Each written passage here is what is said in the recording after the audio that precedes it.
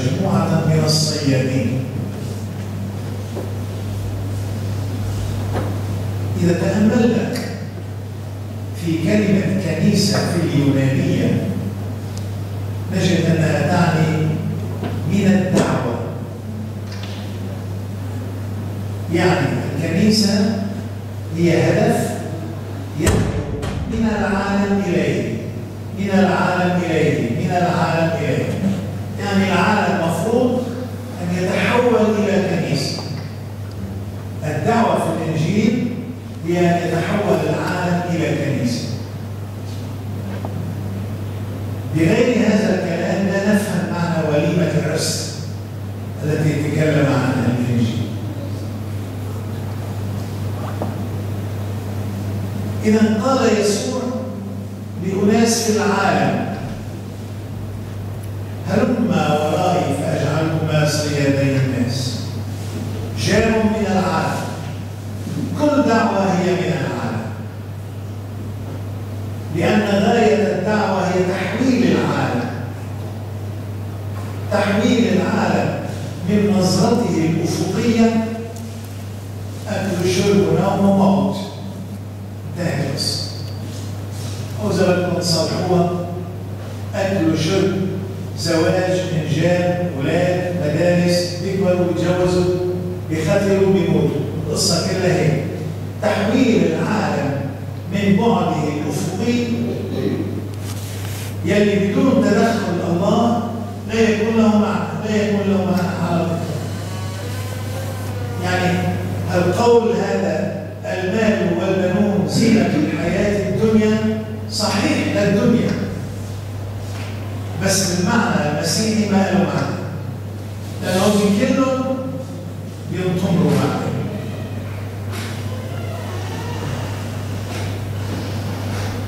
فالله يدعو العالم كي يحوله إلى كنيسة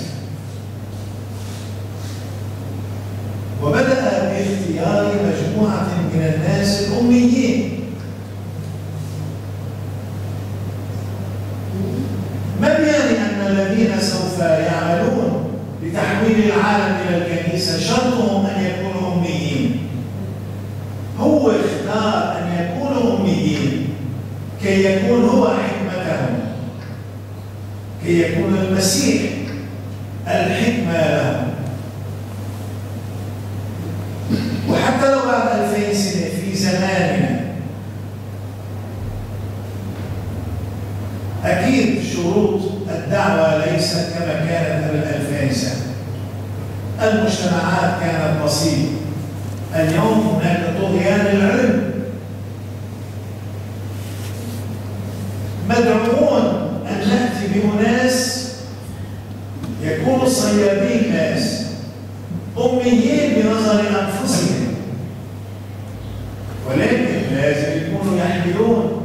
أسلحة هذا العالم.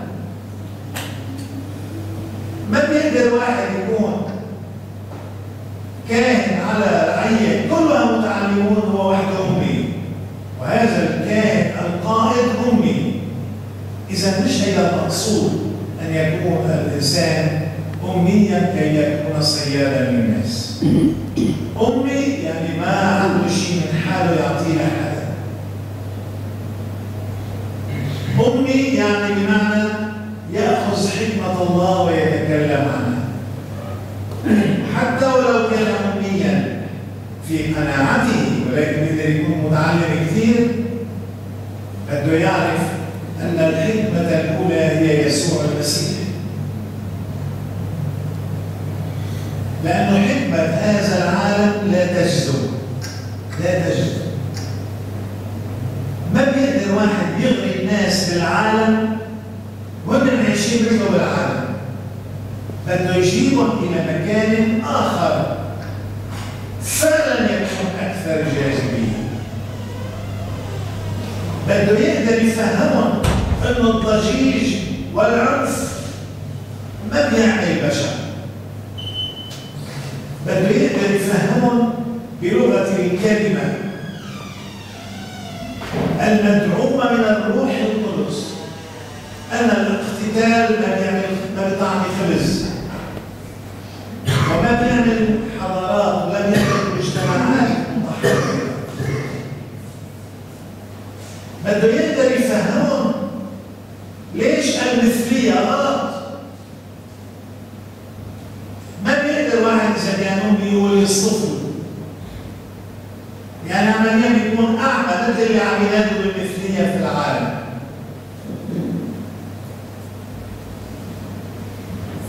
بده يقدر يفهمهم أن الله خلق آدم وحواء لهدف إلهي بعيد جدا.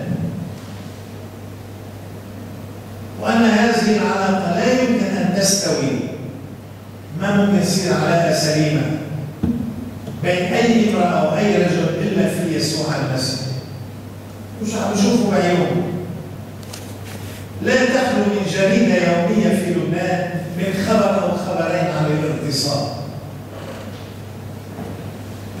يعني الناس ما عم ما عم يقدروا يعيشوا كآدم وحواء ما هي الشروط الذين يلبون هذه الدعوة؟ الشرط الأول وضعه يسوع لأن يسوع لا يستعمل الحرية البشرية ولكن يوجهها شو قال له؟ هلم ورائي صيادي الناس يعني الصياد بالنهاية الصياد الكاهن دائما في قدامه يسوع. يعني الناس بيشوفوا له بيشوفوا ليسوع هلم ورائي مش أنا بمشي وراكم أنتم بتمشوا وراي يقول يسوع. إذا السير وراء يسوع. والسير وراء يسوع يعني بحب الحال. معرفة فكر يسوع. فكر يسوع الموجود بالإنجيل. بهالمعنى ما بيقدر اليوم واحد يكون صياد للناس قبل ما يصير كاهن ما بيقرا الإنجيل؟ وما بيقدر يكون كاهن إذا كان ما هو كاهن ما بيقرا الإنجيل؟ لأنه الإنجيل هو الجسر الأول. نحو تحقيق أن هذا الكائن يسير وراء المسيح يتعلم فكر المسيح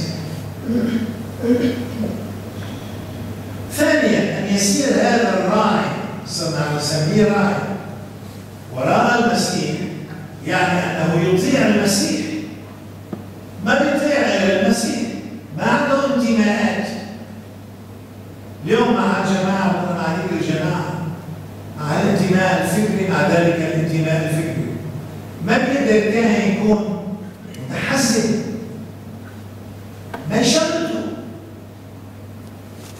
ما بيقدر بالشمال يكون في واحد متحزن مع جماعة فلانية وفي بيروت مع جماعة ثانية وفي الجنوب مع جماعة ثالثة أو الاثنين غرباء عن بعضهم هالكهنة ما في تحزب في الكهنوت.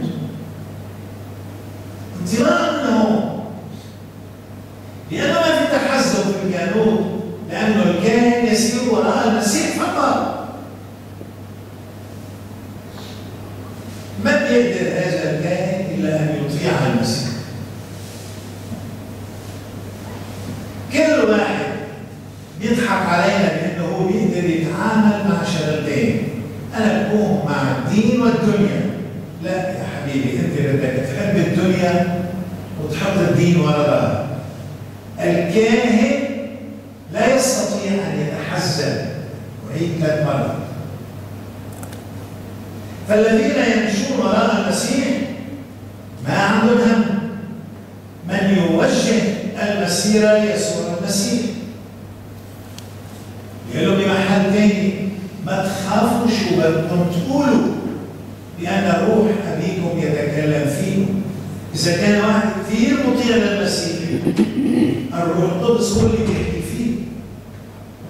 وبيحكي فيه أكثر من حكمة العلماء هذه الحكمية اللي بقى لها معنى بالمعنى الأخير لأنه العالم وعلمه بالنهاية إلى القبر كيف واحد بيتمسك في السير وراء المسيح بأنه يكون عنده حياة روحية شو يعني عنده حياة روحية؟ بده ينتبه لطبيعته كإنسان لأن أمه مثل كل أمهات العالم يحمل آثار الخطيئة الجدية. خلفته مثل كل يلي خلقوا بهذا العالم ابن الخطيئة خاضع للسقوط الطفل بيكون عمره سنتين بيقولوا الناس بتشاطروا بيقولوا إيه ولو هيدا بريء مين قال هيدا شرير بس الاستعدادات المخبأة فيه ربما بعدين إذا قدر لكم تشوفوه ممكن تشوفوه مجرم بعدين كل واحد عنده طبيعة بس تتفتح بتبين الضغط يلي فيها لهالسبب الحياة الروحية يجب أن تعطى من الأهل للولد كي فعلا إذا كان عندهم هذا هذه الرغبة أن يسير ولدهم وراء المسيح مش بالضرورة ككاهن وراء المسيح لأنه هم جديين في العلاقة مع المسيح وفي السير وراء المسيح لازم يضلوا دائما ينبهوه ما يخلوا العالم ياكلوا ما يخلوا هالولد يفلت على الاكل وهو طفل يصير عمره 13 سنة بتصير الشراهه والشهوات اقوى من العقل مين قال العقل أقوى من الشراهه؟ كذاب كبير وقت واحد بيشوف اكل صار خمس أيام منه هيك. وقت واحد بيشوف اكل منه شايف مثله بحياته بطن فاضية. الإنسان تم ما بيشبع وما بيمتلي ما في شيء بيغير المعادلة إلا أنه واحد يمشي في الحياة الروحية. يعني بيسمع كلمة المسيح بيصير معتدل بالاكل في أشياء بتناسبه واشياء ما بتناسبه. مش كل شيء يناسبه.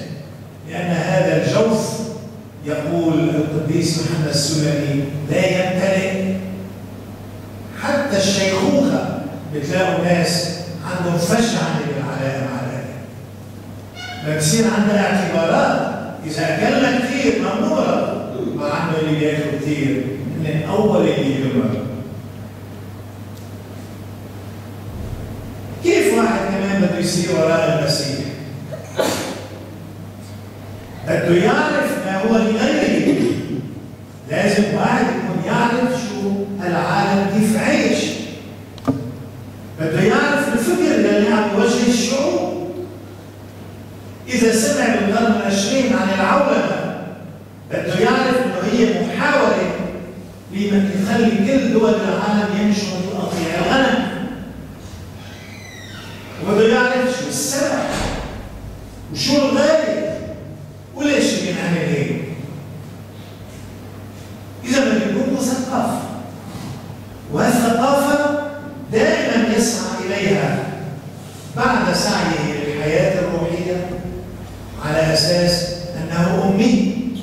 وراح يضل حتى القبر أمي أعظم المتعلمين بيكون فعلا متعلم وقت يقر بأنه جاهل.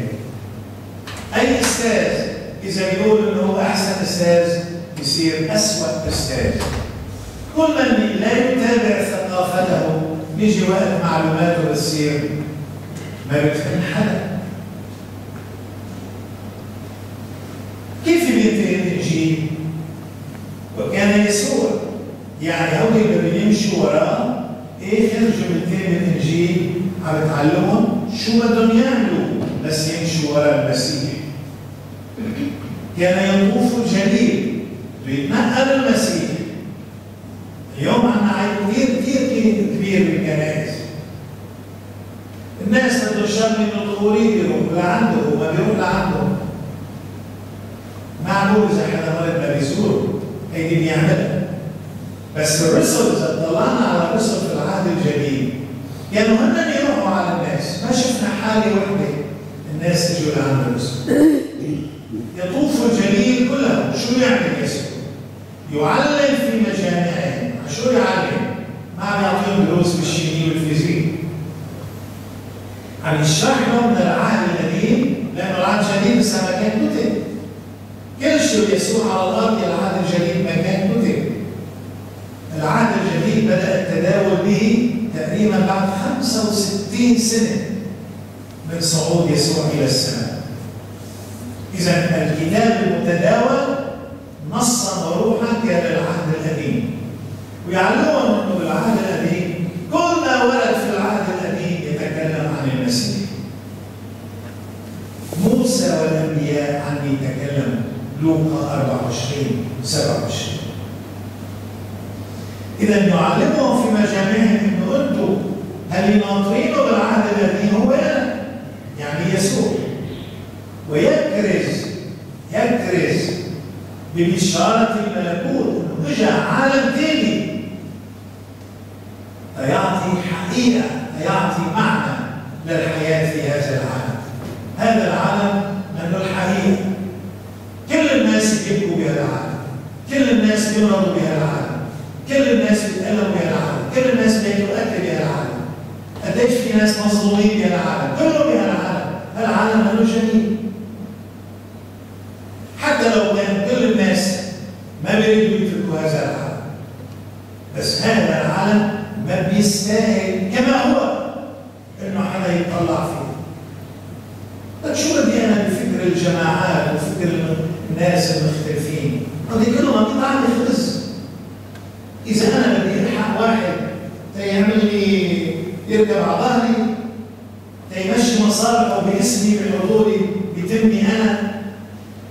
هذا كلهم قطع خبز والناس انهم كسالى لانهم متسكعين متوانين. تنبل. يردوا ورا ناس يساعدون يعني يردوا ورا ناس يطلعوا لهم لفوق وهودي اللي فوق هم مثل اللي تحت لكن في كثير ناس فوق اضرب بكثير من اللي تحت شوفوهم ببيوتهم مع اولادهم كل الناس اضرب من بعض بدون يسوع المسيح؟ إذا يسوع كان لهم في ملكوت ثاني غير العالم الموجود. قتل وضرب واغتيالات ولعب بالدولار. شو هالعالم اللي بيستاهل حدا يطلع فيه؟ وكما يشفي كل مرض. العيوب النفسية العيوب الجسدية العيوب التفكير. شفاء يسوع كامل. وكل لحدا حتى اللي يرد له عيونه الشفاء إذا كان عنده مرض لأنه عمل الله عمل كامل على مستوى الجسد والنفس والروح وكل ضعف في الشعب يعني واحد بيعاني من الحسد يا الله عنده القدرة يقول له لفلان انت ليش عم تحسد؟ هيدي لعبة ولاد صغار بكلي واحد عمره 60 سنة غيور وحسود وغضوب هيدي يا ابني لعبة ولاد صغار الله عنده طريقة انه يحول البشر وبيشوفوا كثير جذاب يتحولوا والناس اليوم ما بينجذبوا لحدا بالعالم. التاتو لأنه الإنسان بطل جذاب التاتو لأنه الإنسان ما حدا بيطلع فيه. الناس عم تطلع لبعضها الناس بيهمها مظهرها لأنه بدها حدا يطلع فيها. المجتمعات تحيا فقط. وقت الناس بيشعروا إنه في ناس بيحسوا معهم. لهالسبب هذا العمل لا تقوم به بكل الدنيا ما في دولة من دول العالم على مستوى هذا العمل الجليل إلا الكنيسة على كل لأن الكنيسة جزء من العالم. يطلع منها القديسين اللي ينفصلوا عن العالم. وكل ضعف في الشعب. إذا الأمور اللي كان عم يعملها يسوع عم يشوفوها الناس اللي اختاروا يعملوا مثله كل من يعتبر حاله مسيحي يعتبر حاله مدعو ومن هو مدعو بده يعمل مثل ما بيعمل اي شخص هو كائن إذا بيشوف حدا بحاجة بده يهتم مثل ما بيهتم الكاهن مش مثل ما بيعمل بيعملوا الناس بالمعمودية. كل شيء بيعملوا الطوري وهن بس شغلتهم يتصوروا بالمعمودية. الناس اللي يصيروا مثل ما على خدمه القداس الالهي هذا العمل بنلاحظ التركيز فيه على يكرز ببشارة الملكوت ويشفي كل مرض. عم يحكي يحكي. يعطيهم فكر آخر إلى آخره. كأن هذا الانجيل يأتي كنتيجة لعمل الروح القدس بنزوله على الرسل في العنصرة بشكل ألسنة نارية بده يصير الإنسان العالم مش ما بيحس ولا مبالي ما حال أغلب الناس لكم مرة بيجوا الشولياء على ضيعة بيبدوا الناس على الخوري بيكون الخوري منهم متعلم. هن ما بيعرفوا يعملوا شيء. ويضل كل حياتهم 70 80 سنة ما بيعرفوا يعملوا شيء. هذا لا يليق كل هذه الآفاق يفتح لنا هذا النص. الواحد يأخذ قد ما بيحب يكون نشيط وقوي في المسيح له المجد إلى الأبد